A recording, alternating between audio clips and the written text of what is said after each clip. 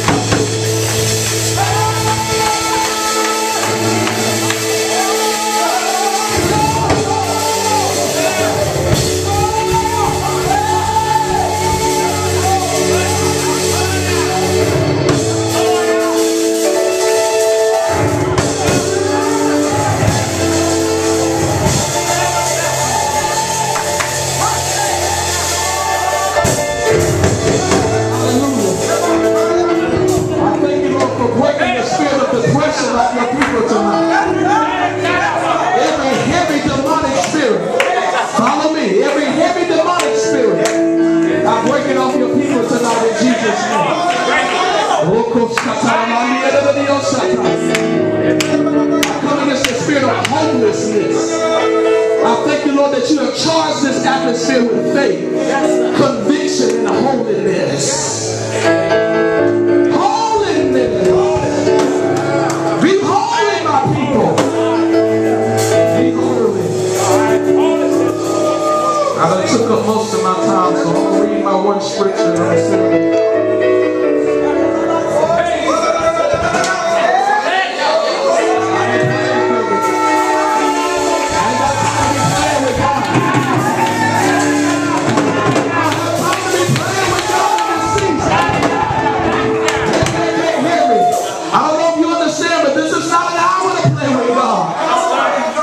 People are dropping dead in the house of the Lord. Hallelujah. I don't even know where to go from here. I'm sorry. I'm sorry. Sorry. Do what God tells you to do.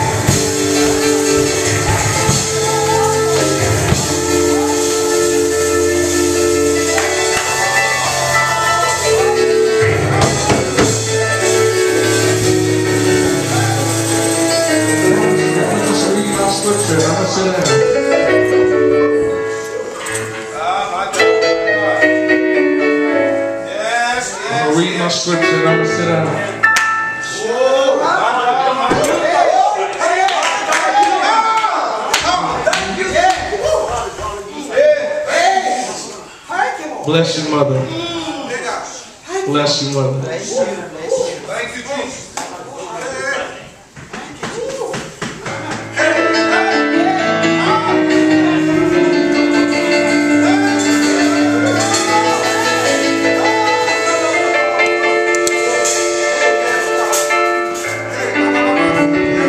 In Mark, the eighth chapter,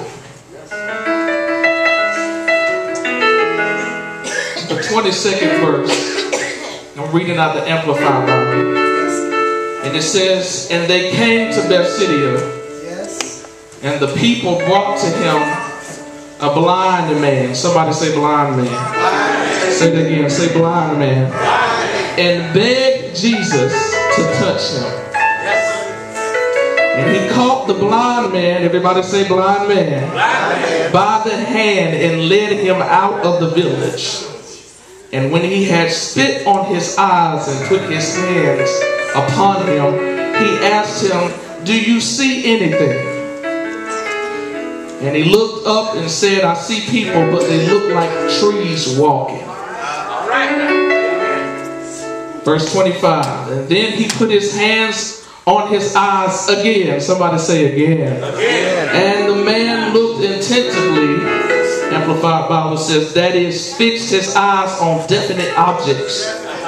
And he was restored. Somebody say restored. And saw everything distinctively, even what was at a distance. Last verse. And he sent him away to his house telling him, Do not even enter the village or tell anyone there.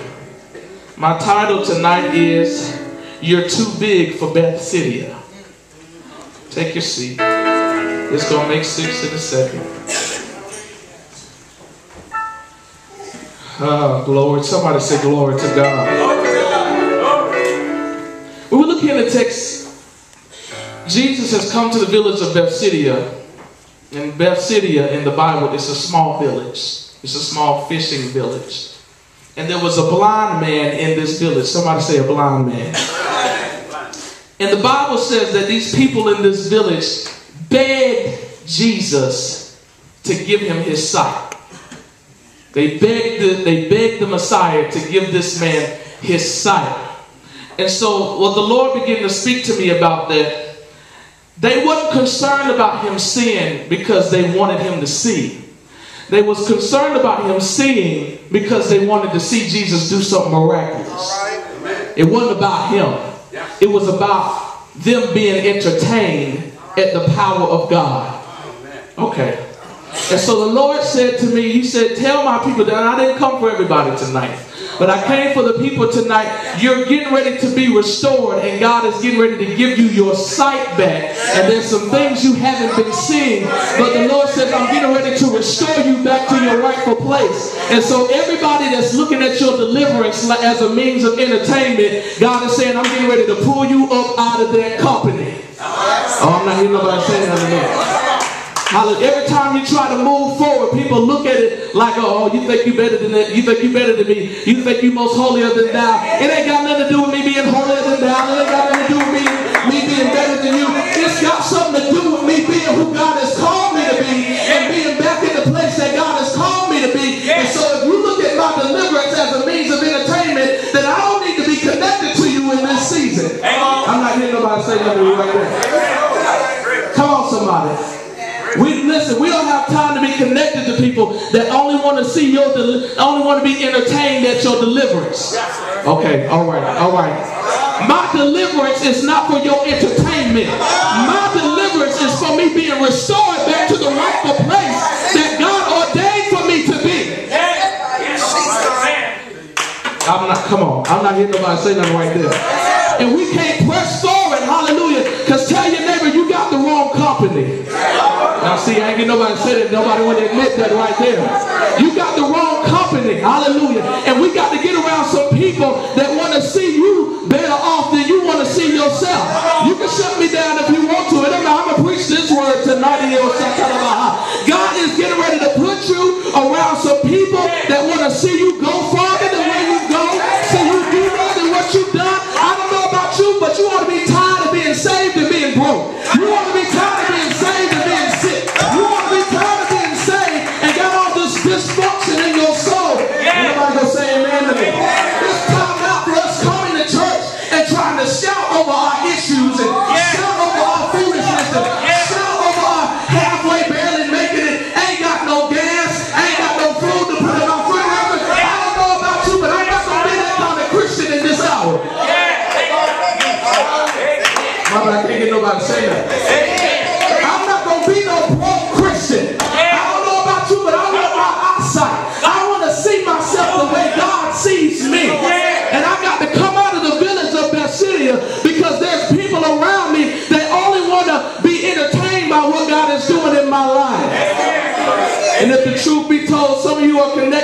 people that think your deliverance is a joke. It's just too real tonight. That's good stuff, sir. Hallelujah. So the Lord says, I'm getting ready to separate you. I'm getting ready to uproot you. God Almighty. But the scripture goes on to say, the Bible says that Jesus caught the blind man by his hand. See, Jesus couldn't even restore his sight where he was until he caught his hand. See, I'm getting ready, I'm, I'm prophesying this to you tonight. God is getting ready to catch your hand and pull you out of everybody that don't believe in you, pull you away from all that negativity. God is getting the truth. That Jesus is the truth. The Bible says that he is the way, the truth, and the life. The truth, when you come into contact with the truth, the truth cannot be in the midst of a lie. This is why Jesus had to pull the blind man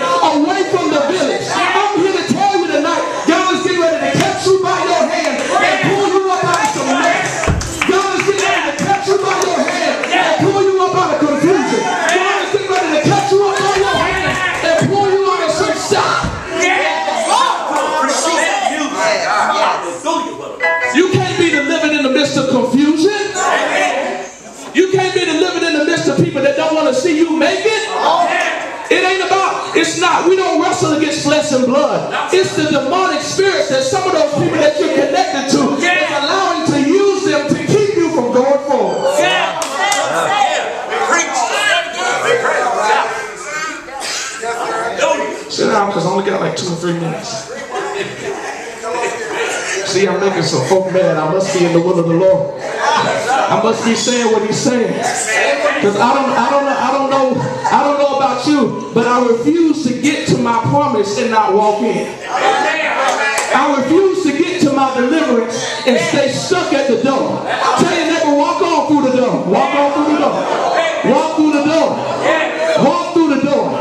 The problem is we have tried to take our bondages into a new place. Uh-huh. And so, God Almighty, this is why the man, this is why Jesus had to give the man a, a new new eyesight.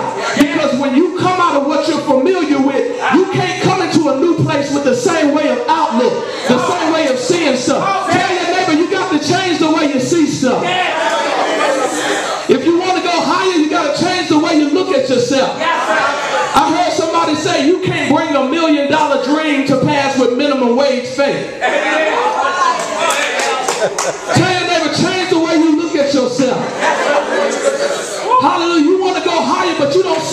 higher. You want money, but you don't see yourself with money. You, you want a better car, but you can't see yourself in a better car. You want victory, but you can't see yourself with victory. And the Lord says, I'm giving everybody in here new eyes tonight. You get ready to see yourself like you have never seen yourself before. Somebody say, Lord, give me new eyes. Give me new eyes, God. Help me to see myself the way you see me. Help me to believe in what you called me to be, God. Help me to view my situation the way you're viewing it. Hallelujah. So the Bible says that Jesus spit on his eyes. Now, truth be told, if somebody spit on you, you'd be ready to fight. Come on, somebody. But the Bible says that Jesus spit on him. And he said, I saw men walking as trees.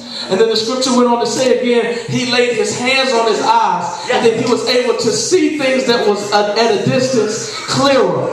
See, the problem is we're trying to go to a new level, and we're not asking God for a second touch.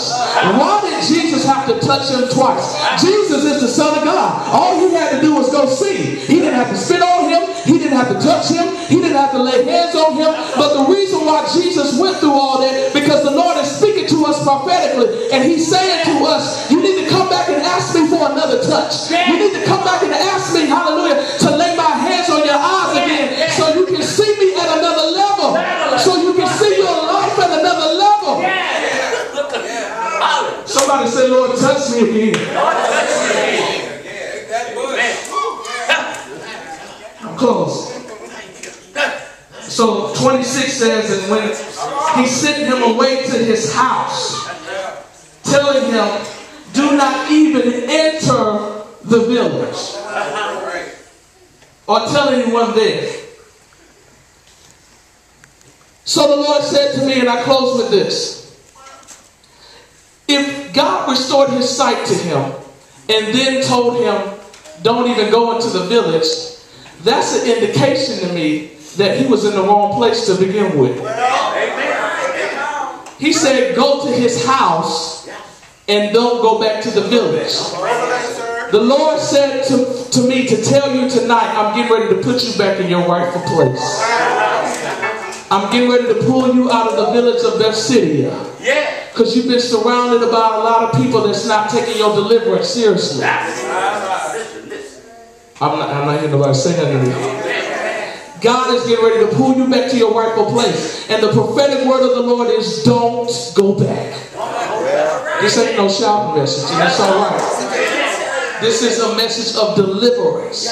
I'm on assignment in this season. And we got to see ourselves differently so as the body of Christ we can come together. You know what would happen, Jerome, if every youth minister in the upstate would come together? We could rent out the TD Convention Center and have the biggest youth revival that the upstate has ever seen. But it's too much competition, it's too much jealousy, it's too much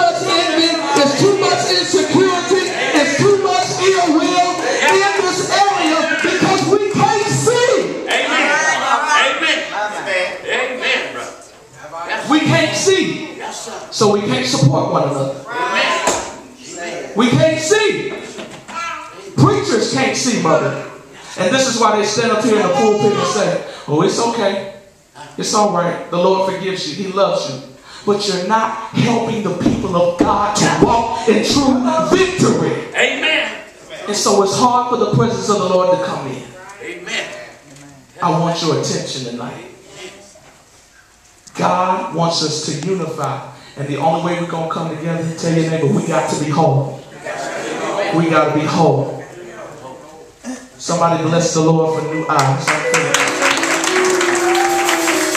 Come on, somebody bless God for new eyes. If you